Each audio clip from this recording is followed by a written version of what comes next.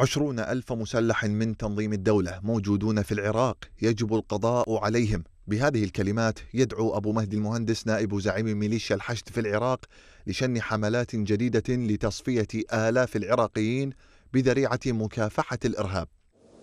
بقى عندنا ما لا يقل عن عشرين ألف مسلح عشرين ألف مسلح داعشي بالعراق لا تتهاونوا فهناك المئات منهم في حزام بغداد. يخاطب المهندس القوات الحكومية داعيا إياها إلى حملة أمنية ضد من يعتبرهم المهندس خلايا نائمة تجب محاكمتهم وفق المادة الرابعة من قانون مكافحة الإرهاب التي ينتهي المتهم بها إلى حكمين لا ثالث لهما إما الإعدام أو السجن المؤبد. الآن في محيط البغداد حوالي 200 نفر. هس.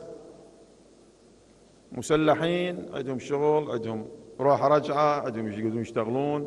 تحريض المهندس على شن حملة اعتقالات جماعية يحاكي وجود نحو 19 ألف شخص يقبعون في المعتقلات الحكومية بتهمة الانتماء لتنظيم الدولة منذ عام 2014 إذ حكم فعليا على ثلاثة آلاف معتقل منهم بالإعدام بينما يوجد نحو تسعة آلاف معتقل آخرين في سجون الشرطة الاتحادية والمخابرات العسكرية والبيشمركة بحسب وكالة أسوشييتد بريس الأمريكية.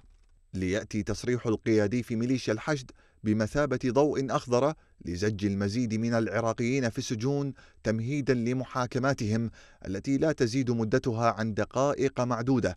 يغيب فيها تقديم أدلة واضحة تدين المتهم ويغيب فيها المحامي لتنتهي المحاكمة غالبا بطريقة دراماتيكية بحسب تقرير سابق لمنظمة هيومن رايتس ووتش أما دعوات قادة الميليشيات لشن حملات أمنية تستهدف سكان أطراف بغداد ليست بجديدة فالأمر نفسه يتكرر منذ أول انتخابات برلمانية بعد احتلال العراق بذريعة تأمين الأجواء لها. واليوم ربما يأتي الدور على مخيمات النازحين بعدما باتت أغلب مناطق حزام بغداد خالية من أهلها.